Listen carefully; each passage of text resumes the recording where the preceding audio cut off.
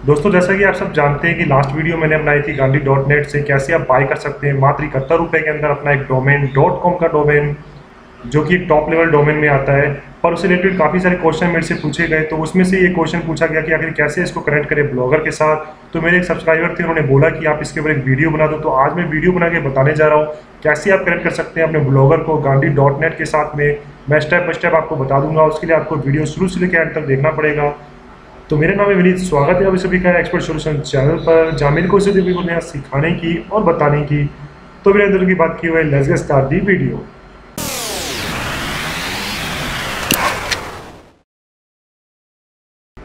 तो यहाँ पे मैंने लॉगिन कर रखा है अपने ब्लॉगर के अंदर और गांधी डॉट नेट के अंदर भी।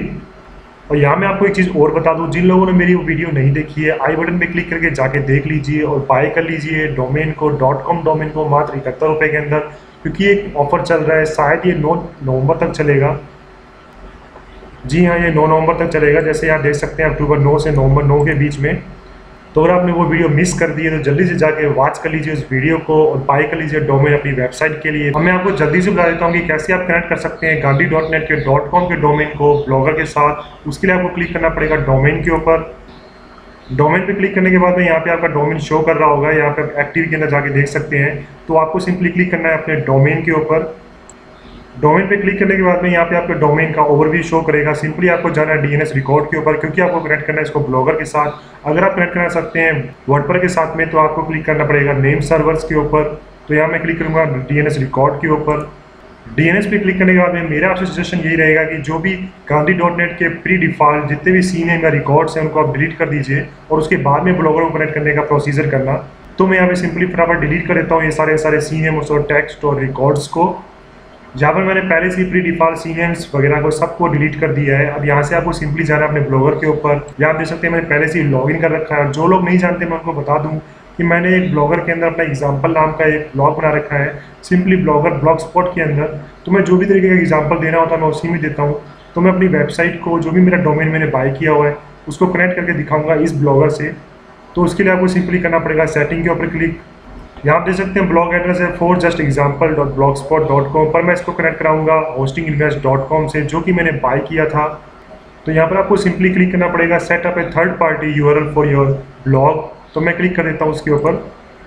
उसके बाद में यहाँ पे आपको ब्लॉग का यू पेस्ट करना है। यहाँ से आप कॉपी करके उसको पूरा पूरा सेम टू सेम पेस्ट कर देना और उसके बाद में सेव के ऊपर करना क्लिक यहाँ पे आप देख सकते हैं एरर शो कर रहा है। इसका एरर का कारण ये है कि इसके आगे मैंने डब्लू नहीं लगाया। तो हमेशा जब भी आप ब्लॉगर के साथ कनेक्ट करो तो उसके आगे डब्लू लगा देना और डॉट लगा देना। अब मैं वापस से डब्लू लगाने के बाद सेव पे करता हूँ क्लिक यहाँ पर आप देख सकते हैं अभी ये शो कर रहा है नेम लेबल या होस्ट फ़ील्ड के अंदर। इस तरीके की फ़ील्ड को गांधी डॉट नेट के अंदर डालने के लिए सी नेम रिकॉर्ड्स को तो उसके लिए आपको जाना पड़ेगा वापस से गांधी डॉट नेट के अंदर, और यहाँ पे जाने के बाद आपको क्लिक करना पड़ेगा ऐड के ऊपर, और यहाँ से टाइप आपको सेलेक्ट करना है तो टाइप मैं सेलेक्ट करता हूँ सी नेम को। सी नेम सेलेक्ट करने के बाद में यहाँ देख सकते हैं नेम शो कर रहा है, नेम के अंदर आपको डालना है डब्ल्यू डब्ल्यू डब्ल्यू, जो कि यहाँ पे दिखा रहा है तो इसको सिंपली करना है कॉपी। कॉपी करने के बाद यहाँ पे करना है पेस्ट, और होस्ट नेम के अंदर आपको पेस्ट करना है, ये जो G H S dot Google dot com show कर रहा है, इसको सिंपली यहाँ से कॉपी कर लेना है, और वहाँ पे कर देना है पेस्ट। और पेस्ट करने के बाद आपको क्रिएट पे क्लिक करना है। यहाँ पे आप देख सकते हैं सीएम रिकॉर्ड इसमें सेव हो चुका है। वापस से ऐड और पे क्लिक करना है और एक और इसमें ऐड करना है सी को लेकर के। तो यहाँ पे सी लिया मैंने। और इस बार जो नीचे के अंदर शो कर रहा है ये, इसको यहाँ से कॉपी करके यहाँ पे इसके नेम के अंदर पेस्ट कर देना है। और उसके बाद में होस्ट नेम के अंदर जो यहाँ पे गूगल वाला जो इसमें शो कर रहा है, इसको यहाँ से पूरा पूरा कॉपी करके वहाँ पे पेस्ट कर देना है। और पेस्ट करने के बाद में सिंपली क्लिक कर देना है क्रिएट के ऊपर। यहाँ पर आप देख सकते हैं दोनों के दोनों यहाँ पे सेव हो चुके हैं। दोनों सीनियर जो अपने रिकॉर्ड्स अपने ने यहाँ पे ऐड किए हैं। इसके बाद में यहाँ पे करना है सेव के ऊपर वापस से एक बार और क्लिक तो अब यहाँ पे लिखा हुआ है we have not been able to verify your authority to this domain तो यहाँ पे आपको वेरीफाई करना पड़ेगा अपने डोमेन की अथॉरिटी को। और उससे पहले आप अपने डीएनएस रिकॉर्ड के अंदर, गांधी डॉट नेट के अंदर गूगल के खुद के आईपी को ज़रूर सेव कर दीजिए। यहाँ पे आप देख सकते हैं, लिखा हुआ है कि चेंज योर डोमेन मतलब यहाँ पे इन्होंने बताया हुआ है कि आपके किसी भी तरीके के डोमेन को माई डोमेन डॉट कॉम को रिडायरेक्ट करने के लिए डब्ल्यू डब्ल्यू डब्ल्यू के ऊपर ये बहुत ही ज़्यादा इंपॉर्टेंट होता है। और इसके लिए आपको ये जो आपके गूगल के जो चार आईपी एड्रेस हैं, इनको आपको डी रिकॉर्ड में सेव करना पड़ेगा। तो जल्दी से मैं कर देता हूँ इसको सेव यहाँ से मैं करता हूँ इसको कॉपी यहाँ से करता हूँ मैं ऐड के ऊपर क्लिक आपको टाइप सेलेक्ट करना है ए यहाँ पर या तो आप एट द रेट लगा सकते हैं, या अपनी वेबसाइट का नाम डाल सकते हैं। तो मैं यहाँ पे सिंपली करूँगा एट द रेट और यहाँ पे वो I P V four address डाल देना है, और क्रिएट पे कर देना है क्लिक इसी तरीके से बचे हुए बाकी तीन आईपी एड्रेस को आपको अपने डीएनएस रिकॉर्ड के अंदर डालना है तो मैं जल्दी से डाल देता हूँ। तो दोस्तों, यहाँ पे आप देख सकते हैं कि मैंने सारे सारे गूगल के आईपी को यहाँ पे डाल दिया है तो आपको अच्छे से सिलेक्ट करके ऐड के अंदर जाके ए को सिलेक्ट करके और एट द रेट नेम के अंदर डाल के उन चारों को यहाँ पे डाल देना। जो कि बहुत ज़्यादा इंपॉर्टेंट है आपकी वेबसाइट को रिडायरेक्ट करने के लिए। जैसे कि यहाँ पे इन्होंने खुद ने बताया है।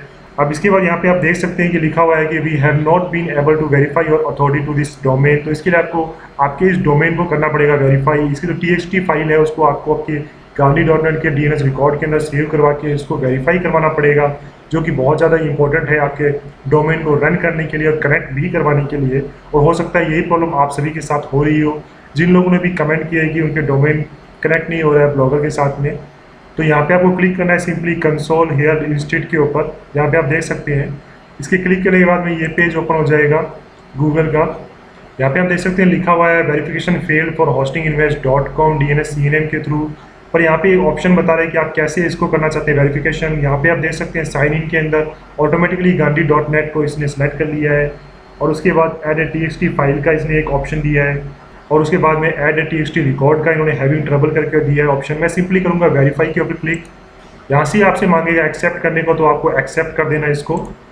यहाँ पे आप देख सकते हैं समथिंग इज़ नॉट राइट यहाँ मेरे ऐसा एरर आया है। अगर सेम ऐसे ही आपकी एरर आता है तो आपको करना क्या है? आपको सिंपली करना है add a T S T record के ऊपर क्लिक यहाँ से आपको जो भी गूगल साइड वेरिफिकेशन का कोड शो करेगा, इसको आपको पूरा का पूरा कर लेना है कॉपी कॉपी करने के बाद आपको जाना है गांधी डॉट नेट के अंदर। यहाँ से आपको ऐड पे क्लिक करने के बाद में सेलेक्ट करना है टी मोड को।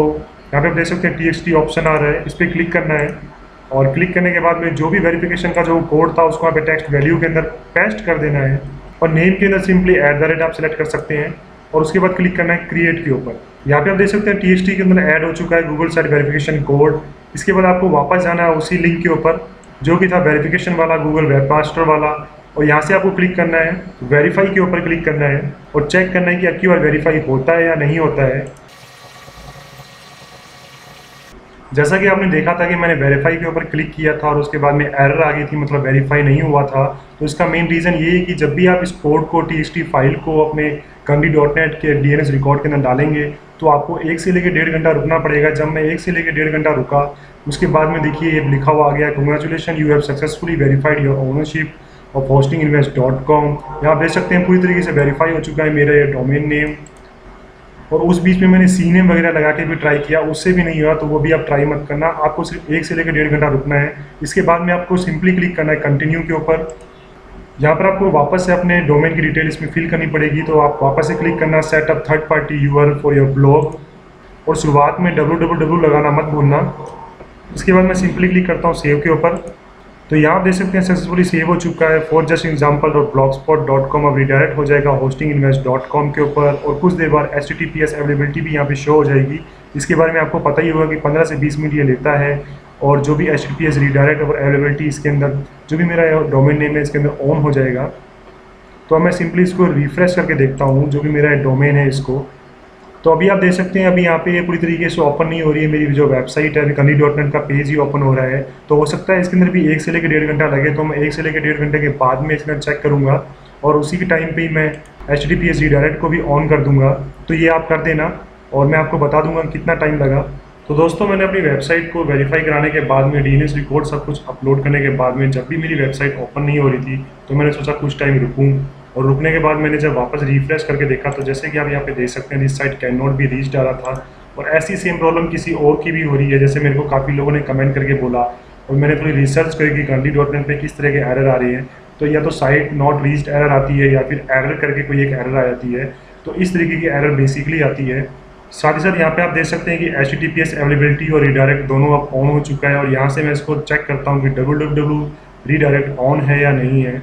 तो यहाँ पे देख सकते हैं, इसको मैं रीडायरेक्ट को ऑन कर देता हूँ डब्ल्यू को। मतलब hosting invest dot com redirect हो जाएगा डायरेक्टली डब्ल्यू के ऊपर, और इसको कर देता हूँ सेव यहाँ से।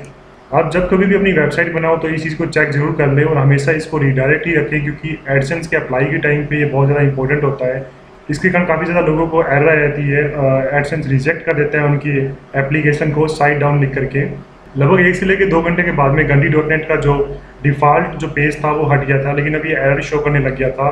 या मोबाइल के अंदर अगर ओपन कर रहा था एरर करके कुछ एरर आ रही थी तो इसके लिए मैंने सोचा कि आखिर क्या एरर हो सकती है, और मैंने अच्छे से रिसर्च किया तो एक भाई साहब ने मेरी बहुत अच्छी हेल्प करी, और उन्होंने मुझे बताया कि आखिर क्या करना है। तो बेसिकली आपको करना क्या, मैं आपको बता देता हूँ, पर उससे पहले दोस्तों, अगर आप नए हैं तो प्लीज़ सब्सक्राइब करिए मेरे चैनल को सपोर्ट करिए मुझे, क्योंकि मैं आपके लिए ऐसी अच्छी अच्छी वीडियोस बनाता रहता हूँ, और इस वीडियो को जितना हो सके उतना शेयर कर दीजिए अपने सारे दोस्तों के साथ। हो सकता है उन्होंने भी गंडी डॉट नेट का डोमेन बाई किया और अब सोच रहे होंगे मेरे तो पैसे डूब गए। तो आपको करना क्या है, मैं आपको बता देता हूँ। यहाँ पे जैसे आप देख सकते हैं, आपके एडिट के अंदर जो सी नेम शो करता है, जो दो सी नेम शो कर रहा था, यहाँ पे अभी फ़िलहाल शो नहीं कर रहा, पर उस टाइम पे जब वो शो करता है, और उस सी नेम को जब अपने यहाँ पे ला करके और उसको पेस्ट करते हैं, जैसे यहाँ पे मैं दिखा देता हूँ आपको, जैसे कि यहाँ पे देख सकते हैं नेम डालते हैं नेम डालने के बाद होस्ट नेम डालते हैं। तो जो आपने होस्ट नेम डाला है, उसको पूरा डालने के बाद मतलब पूरा पूरा वहाँ से ब्लॉगर से कॉपी करने के बाद पेस्ट करने के बाद में आपको लास्ट में कॉम के बाद में एक डॉट लगा देना है और जस्ट सिंपली उसको अपडेट कर देना है। और ऐसे ही सेम नेक्स्ट सीनेम के साथ भी करना है, जो ये G H S dot Google dot com है, इसको भी आपको एडिट पे जा करके और सिंपली कॉम के बाद में डॉट लगा देना है। और आपको वेट करना है कुछ टाइम का। बेसिकली मैंने कल नाइट में किया था और सुबह जब मैं उठा हूँ, लगभग आठ से लेकर दस घंटे के बाद में तब मैंने चेक किया तो मेरी साइट रनिंग पे है। यहाँ आप देख सकते हैं मेरी site hosting invest dot com या बिल्कुल भी फेक नहीं है, मैं आपको दिखा देता हूँ। स्क्रॉल करके एस बूस्ट e की मैंने इसमें थीम लगा रखी है। एस बूस्ट थीम के बारे में मैं आपको बता दूँ, बहुत ही लाइट और बहुत ही बढ़िया थीम है ब्लॉगर के लिए। एकदम प्रोफेशनल लुक है इसका। ज़्यादातर जो ब्लॉगर होते हैं, वो अपनी वेबसाइट के लिए ऐसी प्रोफेशनल थीम का यूज़ करते हैं। एस बूस्ट ऐसी बहुत अच्छी थीम है आपके ब्लॉगर के लिए, आप चाहो तो उसको यूज़ कर सकते हैं अपनी वेबसाइट के लिए। मैं आपको इसका लिंक दे देता हूँ, इसके बारे में मैंने पूरा कंप्लीट बताया हुआ है। आई बटन में जा सकते हैं आप। तो साथ ही साथ यहाँ पे आप देख सकते हैं कि जो आप कैंट भी रीच आ रहा था, मैंने रिफ्रेश किया तो यहाँ पे आप hosting invest dot com show कर रहा है। तो मैंने जैसे आपको बताया, आपको सिंपली यही करना है। जो भी चीज़ें मैंने आपको बताई, वापस से मैं आपको बता देता हूँ। पहले यहाँ पे जो भी प्री डिफ़ॉल्ट जितने भी डीएनएस और रिकॉर्ड्स हैं, उनको आपको डिलीट करना है। ब्लॉगर के अंदर जाना है, ब्लॉगर से जाके सीने वगैरह को यहाँ पे पेस्ट करना है। पेस्ट करने के बाद में एक चीज़ का याद रखना है कि लास्ट में इनके कॉम के बाद में डॉट ज़रूर लगा देना। उसके बाद में वेरीफाई के लिए अप्लाई करना है। वेरीफाई के टाइम पे आपको एक से लेके दो घंटे रुकना है। और ये जो गूगल के आईपी एड्रेस है, इसको यहाँ पे डाल देना ये डब्ल्यू डब्ल्यू रिडायरेक्शन के लिए यूज़ में आता है। और आपको थोड़ा वेट करना पड़ेगा। जैसे वेरिफिकेशन के लिए आपको एक से लेकर दो घंटे रुकना है। और जब कॉम के बाद में डॉट आपने लगा दिया, उसके लिए भी हो सकता है। मैंने बेसिकली आठ घंटे तक वेट किया। हो सकता है आपको दो घंटे या तीन घंटे रुकना पड़े।